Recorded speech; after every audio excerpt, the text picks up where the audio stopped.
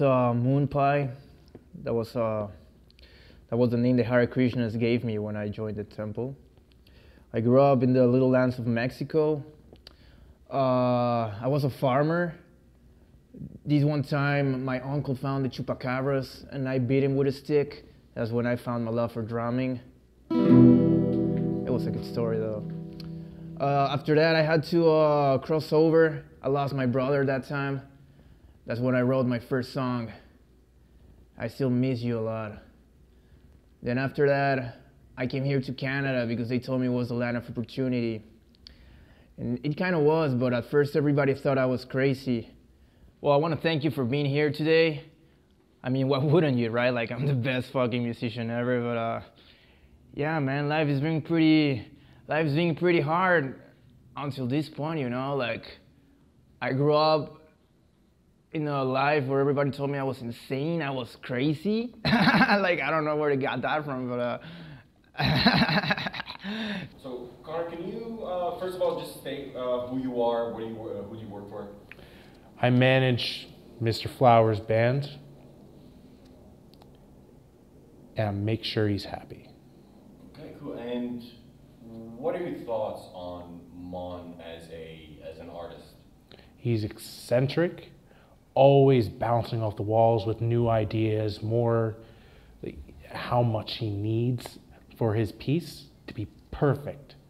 He will not leave you alone until he gets that right beat or that right bit of production value. He just will not let you go.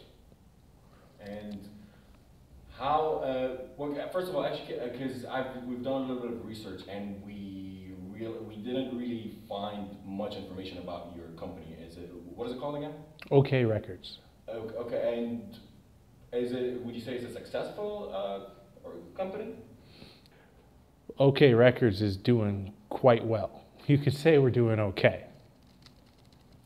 Mon Flowers made our records. The man, the moment he joined us, we started making shovelfuls of money.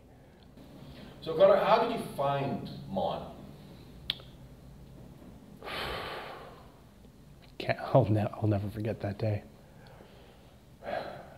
Was walking through the woods. It was just a normal day, listening to bird sounds, just trying to find some muse, like thinking about what my next contract will be, how I'll like build my record company up more, create more revenue, right? Suddenly I hear this just one of a kind sound. I've never in my life imagined a sound this original. So I followed it.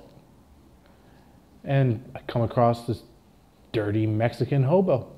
Uh, life was pretty hard for me back then. I used to be uh, addicted to inhaling markers, you know, like Sharpies and shit like that.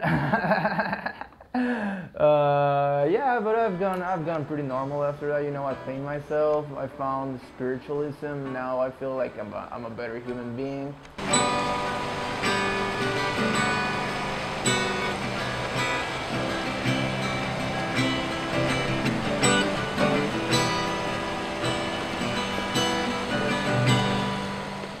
Yeah, man, I used to be vegetarian for seven years, but these Canadian dogs, man, they're pretty good.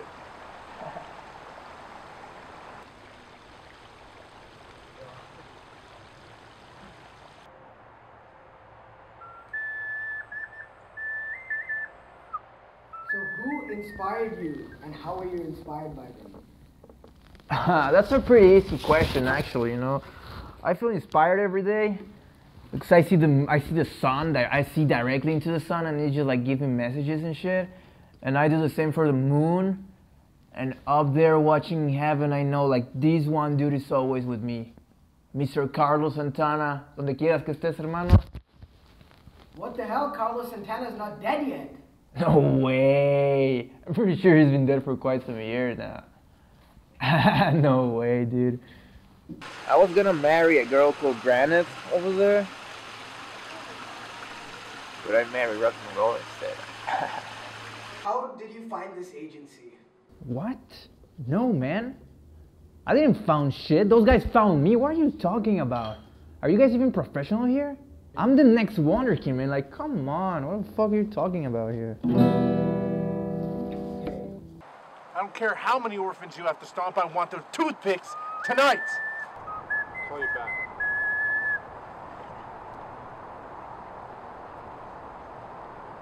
What are you doing here? Get the fuck away! Leave me alone! What was your life before you got famous?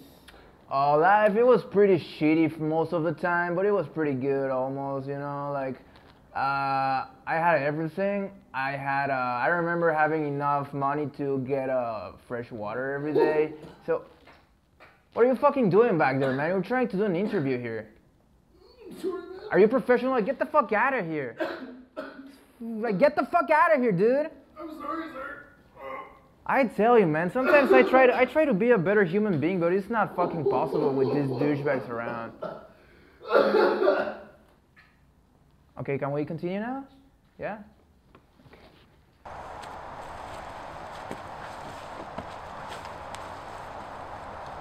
Ah. Oh, hey guys, I didn't see you there. Welcome to my crib. This is where the magic happens. Come in, guys, I'll show you around. This is a magic spot I call home.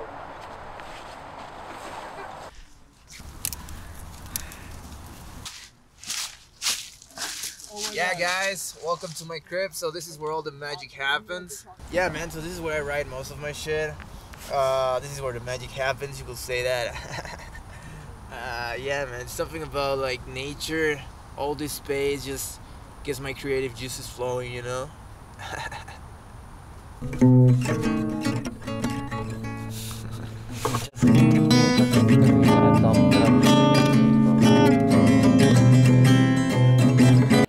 was just kind of a little on, on the edge of homelessness before I met Mon. It's almost it's almost because of Mon a couple times, but he's got to be one of my like the best people I ever met. Really, you know. He's, really eccentric with like how he creates music. It's like on another level. I never imagined meeting someone so gifted at making chords, establishing a lyrical pattern. He's just might be the next uh, Kurt Cobain, hopefully.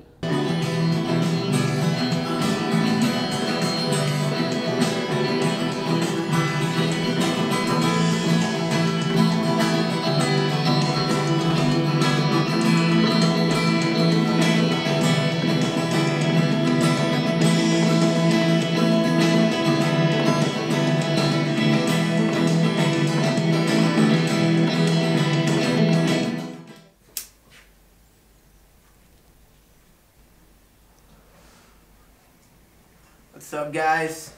So this is the studio. This is where I record everything. I made my own studio at my place, as you can see. uh, OK Records wanted to give me a studio, but I really don't like going. Yeah, so I'm just waiting for Ramiro. Uh, that guy is always late. I don't know why I work with him. Well, he's my childhood friend, you know. Sometimes he's a good guy, but most of the times he's just a prick with me. He's always doing like these weird faces and uh, I don't know, man. He's always late.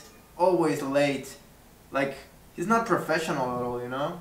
Are you guys even professional too? Like, you guys were late. What's going on here, man? What would you say about your band member? Yeah, the guy is pretty good most of the time, you know. Sometimes he messes up, he doesn't come to practice. He's pretty silent most of the time too, so I don't know what the fuck's going on through his head. But I know he's a good person and I'm always trying to teach him how to be better, so I think it works for both of us. Yeah. Also, I don't know what the fuck he's saying half of the time, you know. He's just speaking some weird kind of Spanish that I don't understand. Like, I, I can speak pretty good Spanish, but that guy is just weird, you know. Oh, our secondary bassist, pretty basic. the guy doesn't guy doesn't really know how to talk. He kind of speaks in bass. Like, get the guy in a room, try to have a conversation with. it's kind of funny. Like, Yeah, man. So I think I'm a pretty good friend, you know. Most of the times he screw ups, but uh, I'm always there for him. I treat the guy pretty well, and uh, yeah, I think I'm actually an amazing friend, you know. Like, yeah, man. There was this one time where he like, what the fuck, man? What time is it? Where's the bass? Ramiro, where's the fucking bass? ¿Dónde está el puto bajo, Ramiro? No trajo el puto bajo. No mames. No mames. What the fuck, dude? No lo puedo creer. Solo tenías que traer el bajo. How's it going, on, guys? How's the music coming along? Don't interrupt me, man. We're speaking Spanish right now. Uh, I, I'm the fucking manager here. How's Oh. the music coming along? You shut up, bro. I'm speaking right now. Sit down. We're doing an interview. We're doing it properly, okay? No fuck ups. We're being professional now. Are you intimidated by Mon in any way? me, hell yes. Hell yes. I make sure that man is happy so I don't have to hear from him. Oh, just even talking to I know he's gonna fucking call me. Another thing about how his shoe is too tight on his pinky toe or his, his glasses are just a little off his face. He can't just put them back on. He has to have me fucking get him a new pair of glasses that balance just right on his nose. I mean, oh, shit. Oh, speaking of the devil. Hello, Mon. What the fuck do you mean? Your mom's not working for you today. I can't replace your mother. You only have to bring the bass, man. Mames, Ramiro, solo tenías que traer el bajo, güey. Now you get to play the fucking turtle.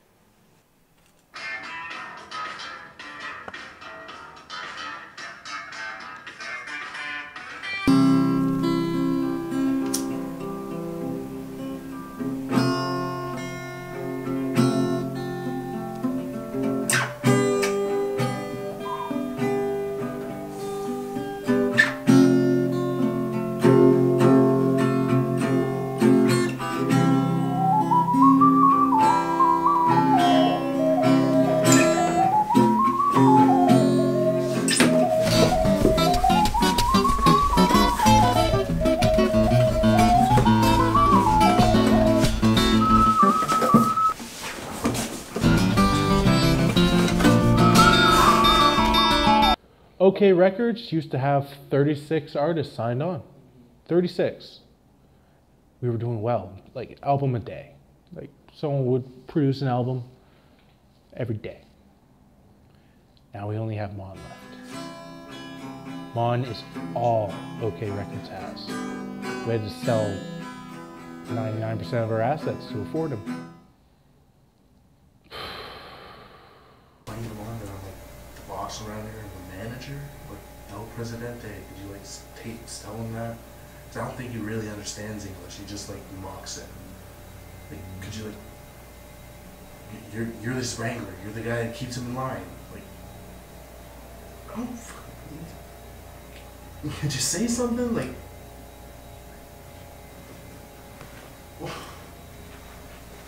So a lot of people are calling me a one-hit wonder right now. Nah, that's not happening, bro. I'm I'm working on the next song and then the next one and then the next one. I tell you, man. I tell you, we're gonna fucking rock the world, man. That's the plan. The plan is to have every kid, every woman, every man, every dog, every fucking human being on this planet know who the fuck Mon Flowers is, and I think I'm going pretty close to that. So that's that's the goal right now, you know.